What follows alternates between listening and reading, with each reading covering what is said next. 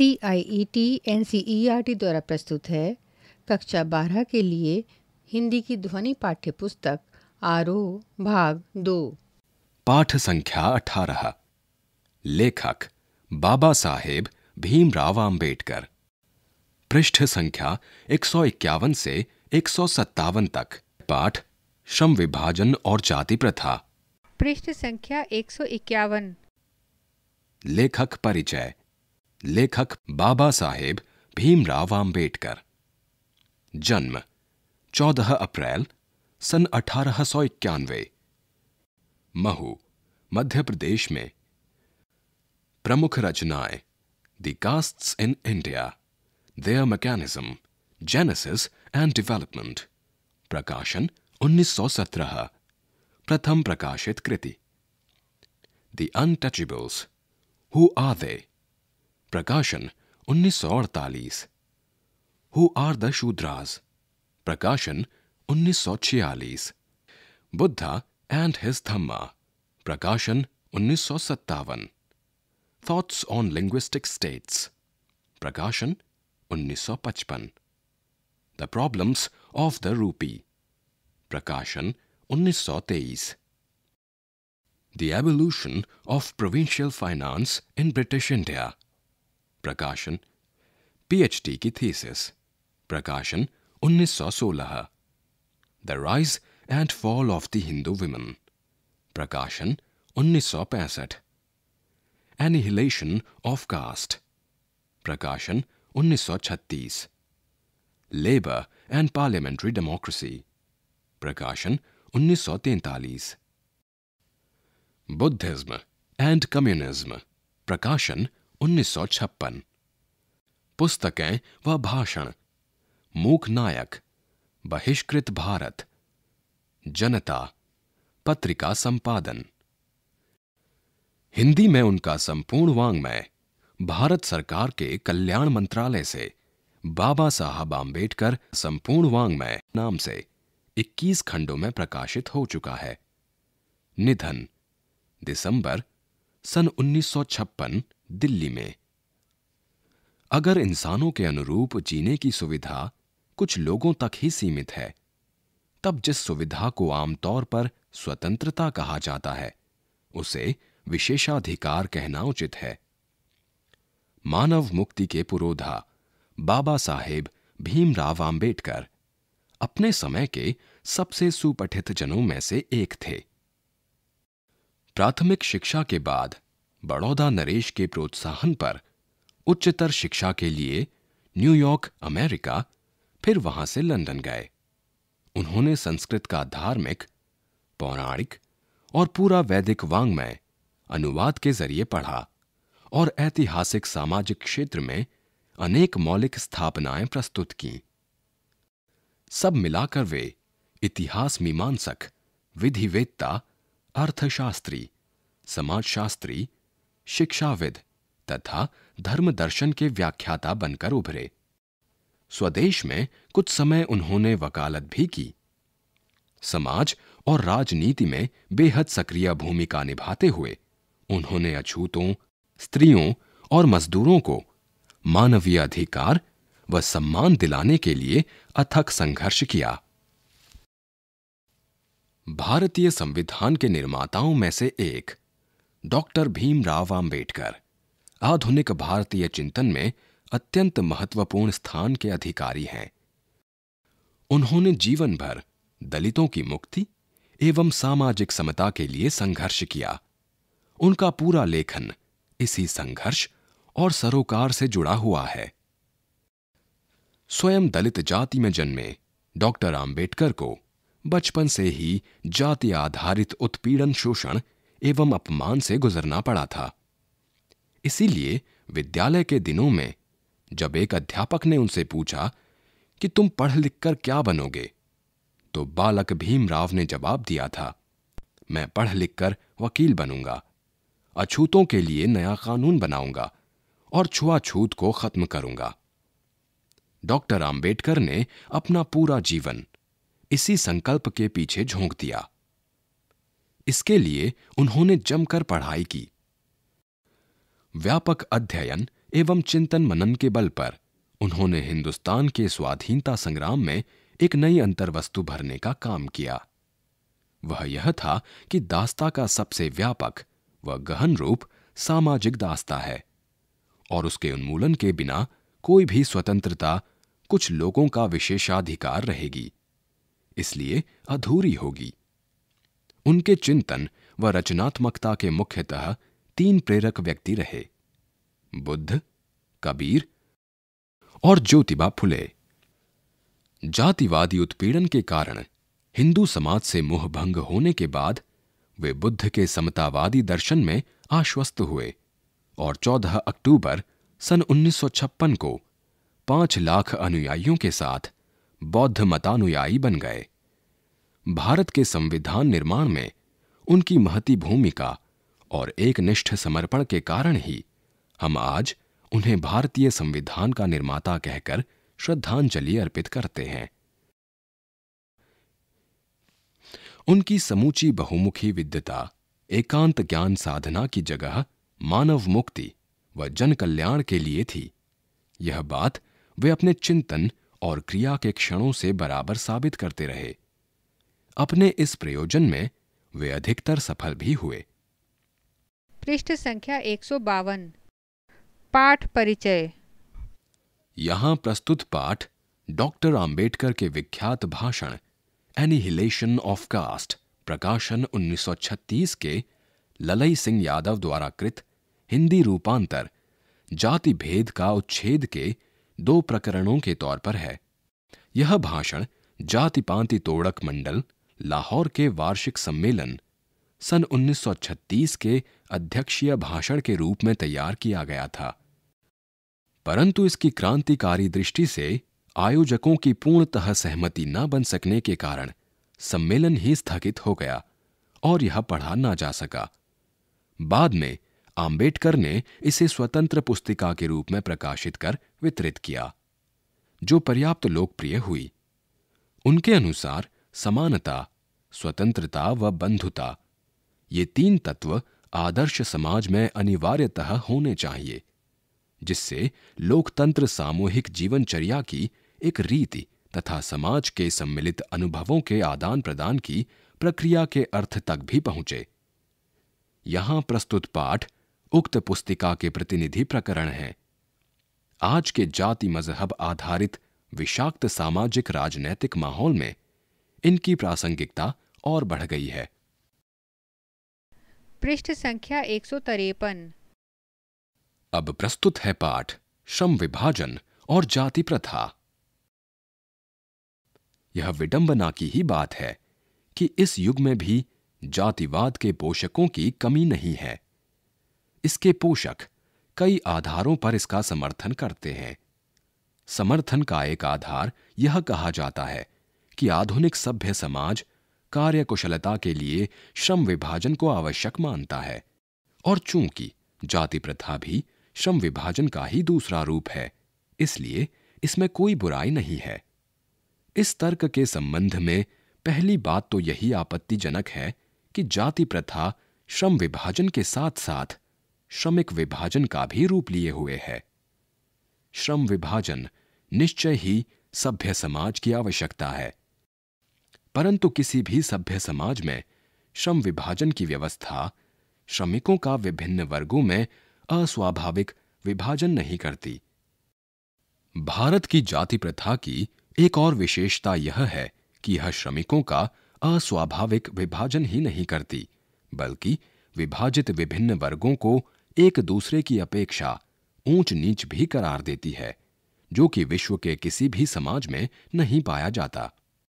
जाति प्रथा को यदि श्रम विभाजन मान लिया जाए तो यह स्वाभाविक विभाजन नहीं है, क्योंकि यह मनुष्य की रुचि पर आधारित नहीं है। कुशल व्यक्ति या सक्षम श्रमिक समाज का निर्माण करने के लिए यह आवश्यक है कि हम व्यक्तियों की क्षमता इस सीमा तक विकसित करें, जिससे वह अपना पेशा या कार्य का चुनाव स्वयं कर सके।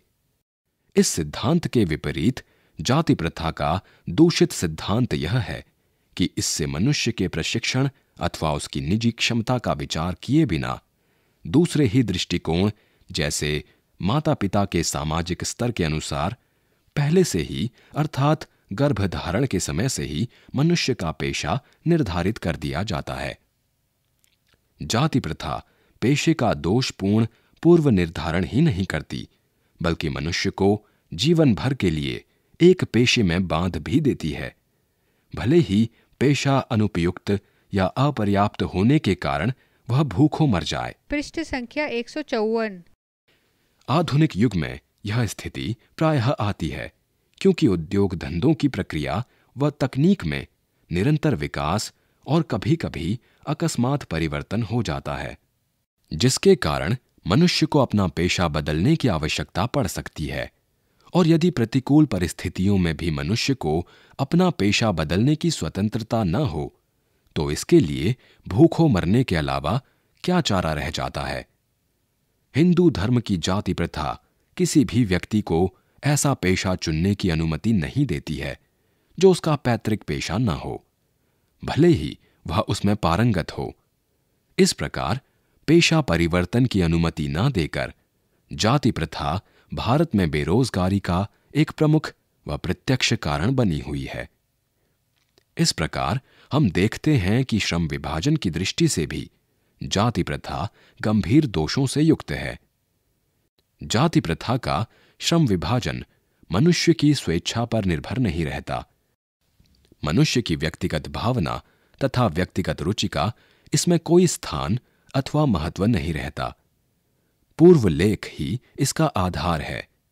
इस आधार पर हमें यह स्वीकार करना पड़ेगा कि आज के उद्योगों में गरीबी और उत्पीड़न इतनी बड़ी समस्या नहीं, जितनी यह कि बहुत से लोग निर्धारित कार्य को अरुचि के साथ केवल व्यवस्थावश करते हैं। ऐसी स्थिति स्वभावतः मनुष्य को दुर्भावना से ग्रस्त रहकर टालू काम करने और कम काम करने के लिए प्रेरित करती है। ऐसी स्थिति में जहाँ काम करने वालों का न दिल लगता हो, न दिमाग। कोई कुशलता कैसे प्राप्त की जा सकती है? अतः यह निर्विवाद रूप से सिद्ध हो जाता है कि आर्थिक पहलू से भी जाति प्रथा हानिकारक प्रथा है। क्योंकि यह मनुष्य की स्वाभाविक प्रेरणा रुचि व आत्मशक्ति को दबाकर उन्हें अस्वाभाविक नियमों में जकड़कर निष्क्रिय बना देती है। पृष्ठ संख्या 155 मेरी कल्पना का आदर्श समाज। जाति प्रथा के खेदजनक परिणामों की नीरस गाथा को सुनते सुनाते आप में से कुछ लोग निश्चय ही उब गए होंगे। यह अस्वाभाविक भी नहीं है। अतः अब मैं समस्या के रचनात्मक पहलू को लेता हूँ। मेरे द्वारा जाति प्रथा की आलोचना सुनकर आप लोग मुझसे यह प्रश्न पूछना चाहेंगे कि यदि मैं जातियों के विरुद्ध हूँ तो फिर मेरी दृष्टि में आदर्श समाज क्या है? ठीक है, यदि ऐसा पूछेंगे तो मेरा उत्तर होगा कि मेरा आदर्श समाज स्वतंत्रता, समता, भातृता पर आधारित होगा। क्या यह ठीक नहीं है? भातृता अर्थात भाईचारे में किसी को क्या आपत्ति हो सकती है? किसी भी आदर्श समाज में इतनी गतिशीलता होनी चाहिए जिससे कोई भी वांछित परिवर्तन समाज के एक छोर से दूसरे तक संचारित हो सके। ऐसे समाज के बहुविधि हितों में सबका भाग होना चाहिए तथा सबको उनकी रक्षा के प्रति सजग रहना चाहिए। सामाजिक जीवन में अबाध संपर्क के अनेक साधन व अवसर उपलब्ध रहने चाहिए।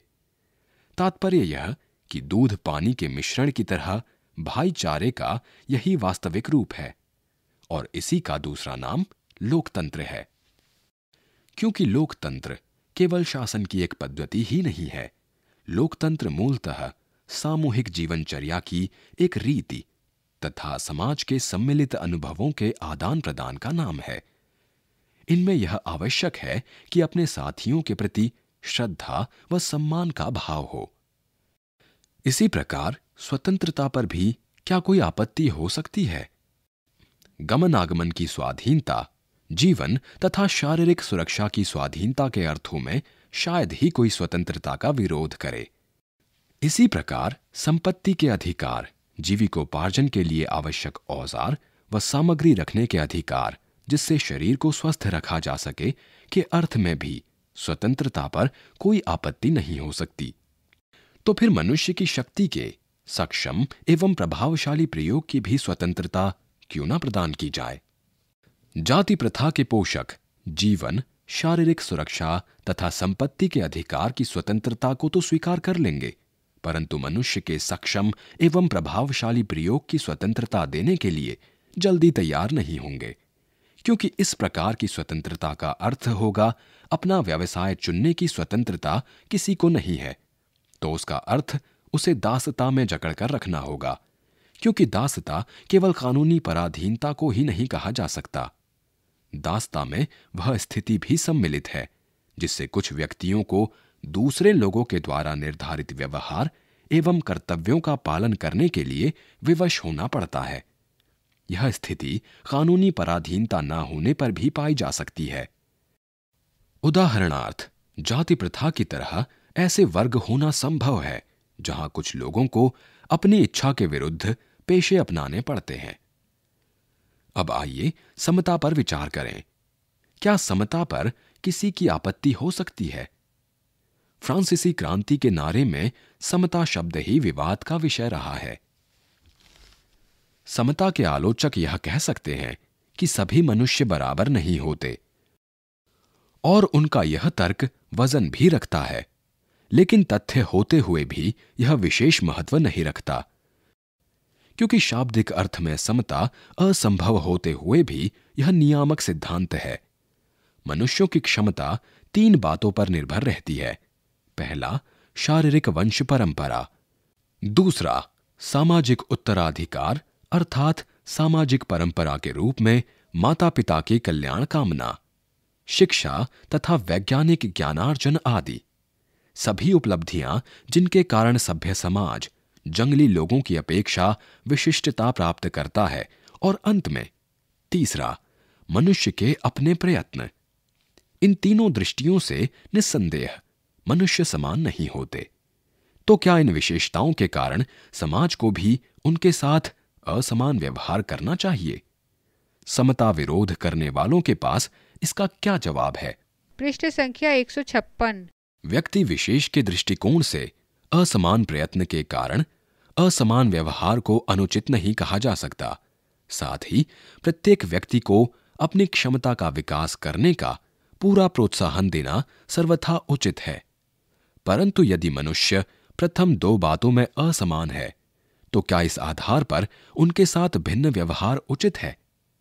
उत्तम व्यवहार के हक की प्रतियोगिता में वे लोग निश्चय ही बाजी मार ले जाएँगे, जिन्हें उत्तम कुल, शिक्षा पारिवारिक ख्याति, पैतृक संपदा तथा व्यावसायिक प्रतिष्ठा का लाभ प्राप्त है। इस प्रकार पूर्ण सुविधा संपन्नों को ही उत्तम व्यवहार का हकदार माना जाना वास्तव में निष्पक्ष निर्णय नहीं कहा जा सकता, क्योंकि यह सुविधा संपन्नों के पक्ष में निर्णय देना होगा। अतः न्याय का तकाजा यह है कि जहाँ हम तीसरे, यानी प्रयासों की असमानता जो मनुष्यों के अपने वश की बात है के आधार पर मनुष्यों के साथ असमान व्यवहार को उचित ठहराते हैं। वहाँ प्रथम दो आधारों को, जो कि मनुष्य के अपने वश की बातें नहीं है, पर उनके साथ असमान व्यवहार नितांत अनुचित है, और हमें ऐसे व्यक्तियों के साथ यथासंभव समान व्यवहार करना चाहिए। दूसरे शब्दों में, समाज को यदि अपने सदस्यों से अधिकतम उपयोगिता प्राप्त करनी है तो यह संभव है। जब समाज के सदस्यों को आरंभ से ही समान अवसर एवं समान व्यवहार उपलब्ध कराए जाए। समता का औचित्य यहीं पर समाप्त नहीं होता। इसका और भी आधार उपलब्ध है। एक राजनीतिज्ञ पुरुष का बहुत बड़ी जनसंख्या से पाला पड़ता है। अपनी जनता से व्यवहार करते समय राजनीतिज्ञ के पास न तो इतना समय होता है, न प्रत्येक के विषय में इतनी जानकारी ही होती है, जिससे वह सबकी अलग अलग आवश्यकताओं तथा क्षमताओं के आधार पर वांछित व्यवहार अलग अलग कर सके। वैसे भी, आवश्यकताओं और क्षमताओं के आधार पर भिन्न व्यवहार कितना भी आवश्यक तथा औचित्यपूर्ण क्यों न हो, मानवता के दृष्टिकोण से समाज दो वर्गों व श्रेणियों में नहीं बांटा जा सकता। ऐसी स्थिति में राजनीतिज्ञ को अपने व्यवहार में एक व्यवहार्य सिद्धांत की आवश्यकता रहती है। और यह व्यवहार्य सिद्धांत यही होता है कि सब मनुष्यों के साथ समान व्यवहार किया जाए।